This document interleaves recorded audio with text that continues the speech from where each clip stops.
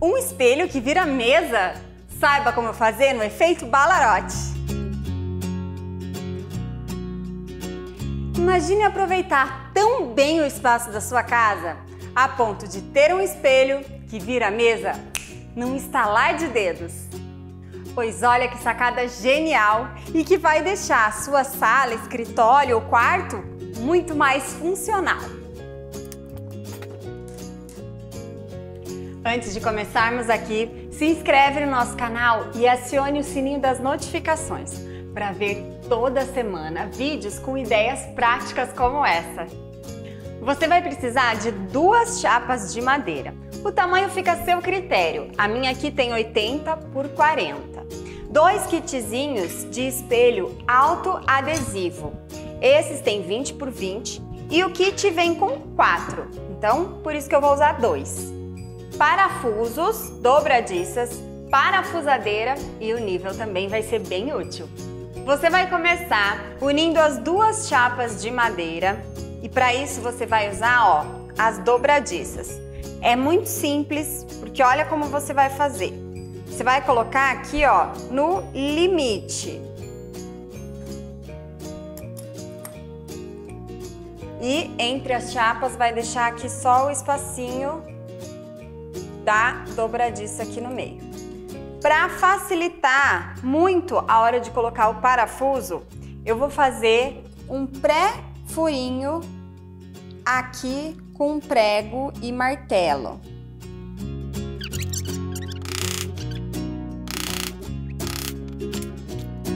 Agora é só vir com o parafusinho. Pronto, gente. Agora o próximo passo é fixar essa guiazinha aqui, ó. Ela vem junto com, com a lingueta, que é o que vai manter o nosso espelho preso na parede.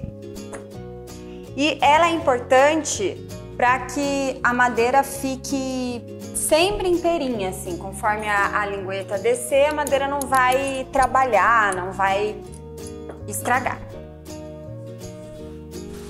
Para fazer isso, eu vou encontrar aqui bem o meio e vou fixar. Aqui eu tô fazendo aquele mesmo esqueminha do martelo e vem com o parafusinho.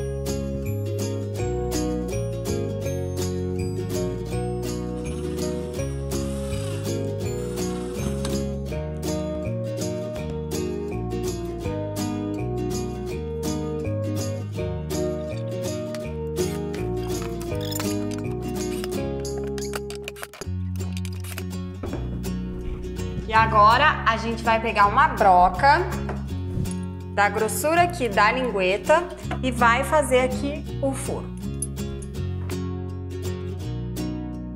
Agora sim a gente vai partir para a fixação dos espelhos.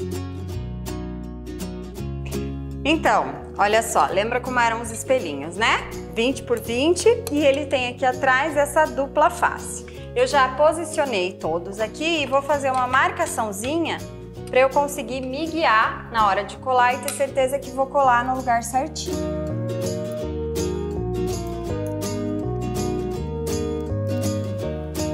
Agora é só tirar aqui a dupla face e colar no lugar que eu marquei.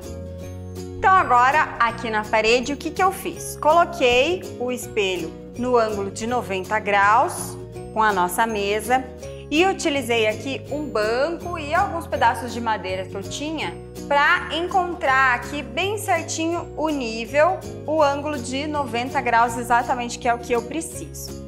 O próximo passo vai ser colocar aqui na parede para segurar aqui a mesinha, tá? O que que eu escolhi? Eu escolhi deixar aparecendo quando tiver montada a mesinha, porque aí quando eu fechar e deixar em espelho, essa parte aqui vai ficar escondidinha. E o que a gente vai fazer agora é marcar para poder fazer os furos.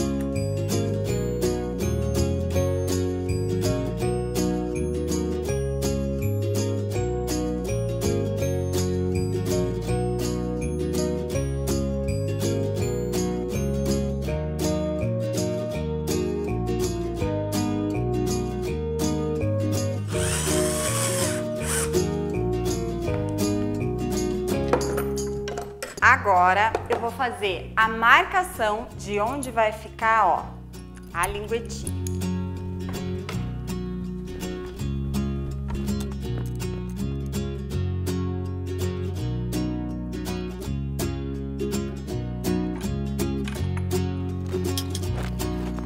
Agora é só furar. Pronto!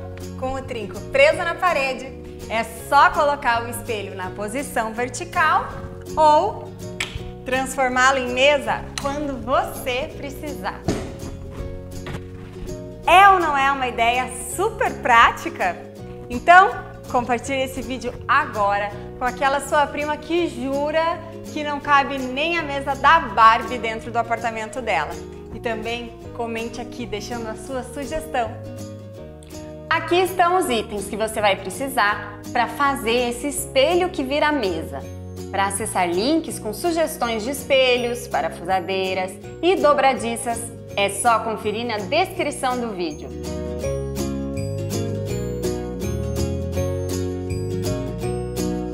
Caso a sua casa tenha mais espaço e você queira um outro modelo de espelho muito elegante, acesse o card aqui em cima para você ver como fazer um espelho lindo com moldura de azulejo. A gente se vê no próximo Efeito Balarote. Tchau!